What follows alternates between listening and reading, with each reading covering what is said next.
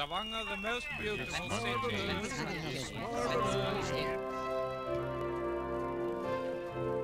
Ja, så går det mot helg. Hvordan blir været i Stavanger da?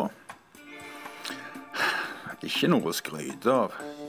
Det regner i dag, og det skal fortsette å regne. Ikke de store mengdene, men nok til at det, det blir forferdelig surt og trist. og ja.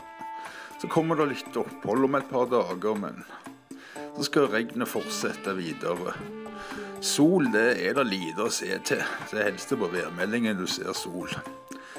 I Spania og for så vidt Sør-Europa i det hele tatt er det ganske fint sommervær fremdeles. Skulle ønske dere kunne få litt det, av det i Stavanger. Ha en riktig, riktig god dag.